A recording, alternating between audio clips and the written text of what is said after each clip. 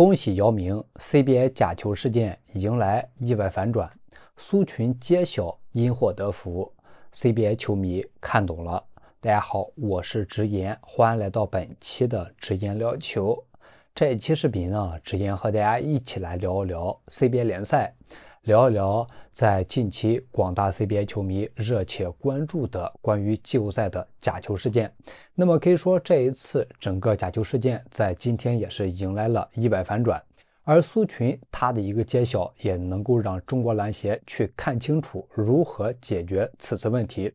同时，我们也要恭喜姚明，可以说 CBA 将会开启一个新的篇章。而如果你看到本条视频也支持我的看法，不要忘了给视频点点赞、点点关注。你的点赞将会让更多关注和支持 CBA 联赛、更多喜欢 CBA 的球迷朋友能够看到这条视频。接下来呢，咱们就言归正传，一起和大家聊一聊 CBA 联赛，聊一聊假球事件的一个后续的消息。那么，首先大家都知道，在昨天。CBA 季后赛，上海男篮和江苏队的比赛以后，整个 CBA 是被很多球迷所吐槽。那么假球事件也是一度登顶了热搜第一，因为在上海男篮和江苏队的比拼当中，那么整场比赛最后的九十七分钟，确实让广大球迷难以去理解，整个比赛也在场上非常的丑陋。那么在这一次整个比赛，也是让广大球迷看到了 CBA 可能出现了假球事件，所以说很多球迷也是希望 CBA 能够去重惩，能够给到广大中国球迷一个交代。所以说，通过这一次整个事件，其实整体影响的不仅仅是江苏男篮和上海男篮这两个球队，那么更加不仅仅是李楠教练和李春江教练。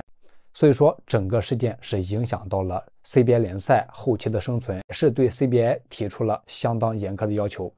所以，面对这一次事件，我们看到中国篮协方面也是在今天凌晨立刻去响应，要求 CBA 联赛能够去进行自我调查，能够给到广大球迷一个真实的结果。那么，这样的一个情况发生之后，明显我们看到方方面面对于 CBA 联赛都是非常不利，也是一个非常不好的消息。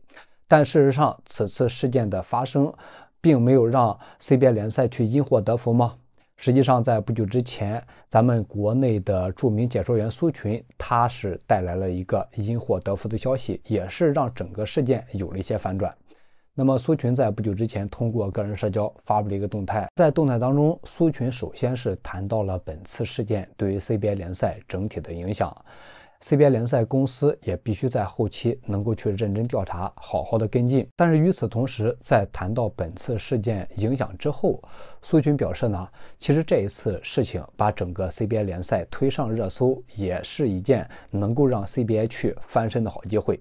因为在此前疫情三年的过程里，我们看到 CBA 也是出现了各种各样的问题，但当时由于封闭的赛制，CBA 呢也是没能够积极的去回应这些问题，导致整个 CBA 失去了很大的公信力，在球迷心目当中的口碑也是有所下降。但是这一次上海男篮和江苏的事件，如果 CBA 能够去处理好的话，那么这对于整个联赛是一个非常好的机会，能够去扭转自己的形象，去证明自己仍。仍然是一个相当职业化，那么能够去努力改变的职业联赛。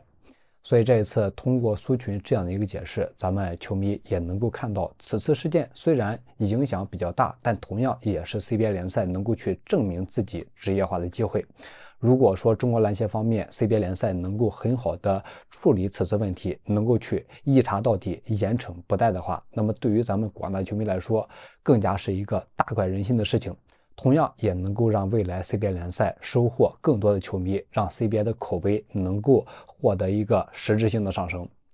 因此呢，我们也要恭喜姚明。那么我们也是期待着中国篮协后期能够带来最好的一个处理结果。咱们也是一起拭目以待。好，那么本期视频呢就聊这里。喜欢听直言聊球的朋友，不要忘了给视频点赞关注。有问题呢，也可以在视频下方留言。体育新鲜事儿，下期咱们接着聊。